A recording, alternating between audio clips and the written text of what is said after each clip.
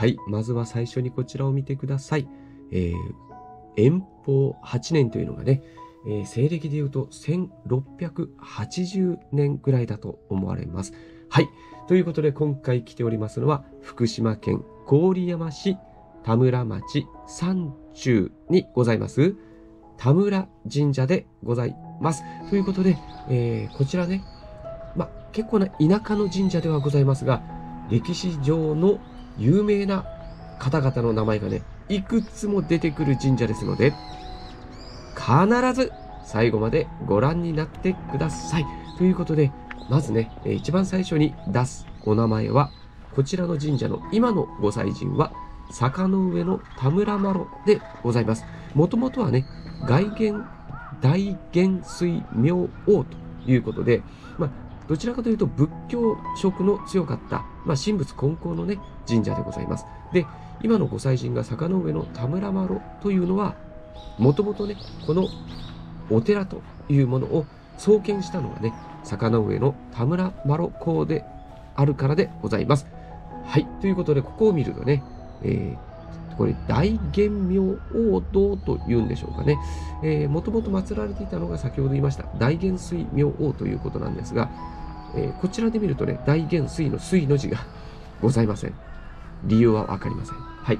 ということで、坂の上の田村麻呂、わかりますよね。万が一わからない方いらっしゃったらいけないので申しますと、まあ、昔のね、今から1200年以上前の大将軍でございます。えー、まあ、日本の歴史上最強の将軍なんじゃないかなと個人的には思っておりますが、この坂の上の田村麻呂、もう言っちゃいましょうか。皆様が知っている、絶対に知っているあの有名な清水寺。清水寺。はい。この清水寺の会期、まあ、わかりやすく言うとパトロンみたいなもんですね。えー、まあ、お金を出して支援した方ですね。実はこの坂の上の田村麻呂公でございます。はい。海山はね、円鎮というお坊様ですが、えー、これがね、今からおよそ1250年前に建てられたのが清水寺でございます。はい。で、この坂の上の田村麻呂港の子孫もね、こちらの方、えー、今これ福島県ですが、えー、多くいらっしゃいまして、その中でも最も有名、まあ、個人的にね、私としては有名なのが、あの有名な伊達政宗、はい、伊達政宗公の奥さん、愛と書いてメゴと読むはずですが、メゴ姫ね、メゴ姫はこの田村家の出身でございます。はい、それは坂の上の田村麻呂公の子孫というふうにね、言っております。はい。ちなみにあの、愛と書いてメゴと読みますけど、これはね、目に入れても痛くないというぐらい、まあね、え溺愛しているということで、あの意味としてね、目に入れても痛くないとかいう意味があるというふうに聞いたことがあります。はい。そのぐらい溺愛していたようでございますね。はい。で、こちらね、えー、仁王像ございます。仁王像です。はい、大変立派ですね。えー、こちらのね、仁王像さんもおそらくそうだと思うんですが、神仏分離霊が明治になって出ましたね。えー、こちら、えー、神社、田村神社になっているので、まあ、仏具とかはね、円通寺さんというところに移されたらしいんですが、まあ、その後落ち着いてからでしょうね。落ち着いてから、神社も返してくれということで、裁判にまでなってね、えー、取り返したそうでございます。まあ、おそらくね、えー、今でもね、神仏分離になって神社にな完全になっているのに、仁王像があるところって時々ありますんで、まあ、それも同じように、こちらの田村神社さんと同じように、落ち着いてから返してもらったり、もしくは、もともとそんなにね、えー、激しくなかったのかもしれません。まあ、激しくなかったっていうのはどういうことかというとね、えー、神社によってはね、あの、心臓、神様の像が、もうね、あの、仏様の形してるんですよ。神じゃないじゃないか、仏じゃないかっていうね、お坊さんの形してるってことで、あの、中にはね、壊された心臓もね、いっぱいあったそうでございます。はい。なんでね、ここは落ち着いてから取り返したという感じなのかなと思います。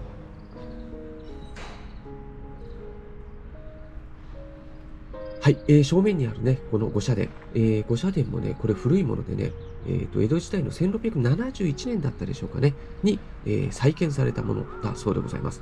えー、ここはね、はい、残念ながら水はね、ございませんでした。えー、手水にね、水がないことでね、時々あの、怒られる方いらっしゃるんですけどね、これね、以前の動画で話したかな。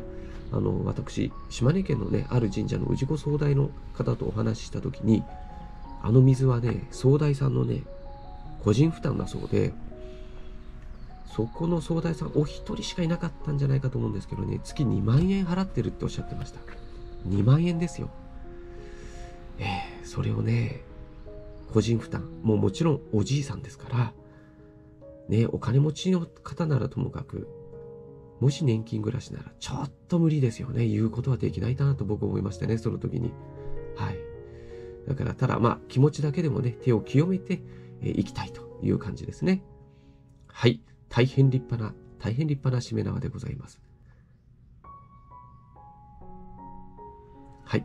えー、参拝はね、この後参りますが、えー、最初に横にもね、え神社さんいっぱいあります。そしてまだ歴史上の人物ってね、まだね、名前出てない方がいますんでね、えー、この後ろに回ったところに、その方ゆかりの桜がございます。そしてここは立パナ龍さんでございます。はい、ここはね、えー、蚕とかもね、この地域で買われてたんだと思います。小海神社がございました。はい、横にね、えー、大変立派なね、えー、石造りのね、神社さんございます。これもね、何番目かの神社、ちょっとね、よく見ておいてください。小さいですけどね、面白いものがね、あります。その一つだけあるんですよ。はい、後でまた映しますね。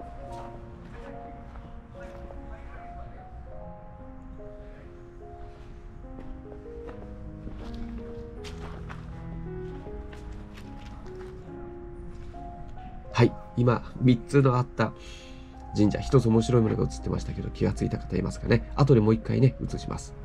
はい、こちらはね、春日神社さんですね。はい、確認すると読めないかもしれませんね。ちょっと早くて、大権現と書いてあるんですが、えー、春日社だそうでございますので、まあ、雨の小屋根の御事とかね、普通主の御事。はい、ということで分かりましたでしょうか。影勝の桜ということで、上上杉影勝公ゆかりの桜、樹齢400年でございます。400年ね。ここにね、あの八幡宮って書いてあったかな。そこから五兵が現れて、このお山の上をね、その五兵が飛んだそうです。ということで、神様が現れたということで、えー、まあ、神事をね、えー、行った。神事ちょっとごめんなさい。あの、ちょっと間違えてると思います。はい。えー、そしたらね、えー、まあ、戦に勝つよというね、え、そういう託戦が出たということで、実際に、まあ、戦に勝ったということで、なんと300国もこの神社、300国ですよ。はい。あ、こちらでございます。上、上。顔。お顔です。これはね、鬼なんでしょうかね。はい。ということで、参拝してください。どうぞ。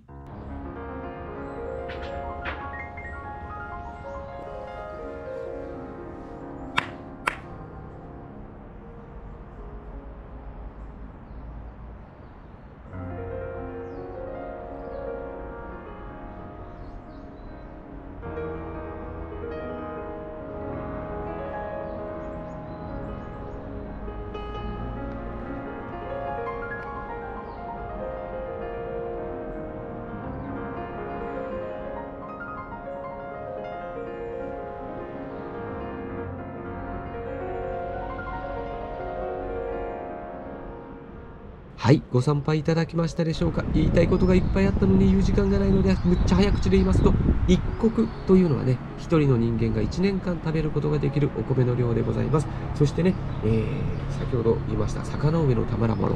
実はね、あの、清水寺、ね、えー、開基と言いましたが、清水寺、江戸時代、あの清水寺から飛び降りた人が234人いたそうでございます。そして、なんと死んだ人、亡くなった方が34人もいたそうでございます。はい、死亡率15%でございます。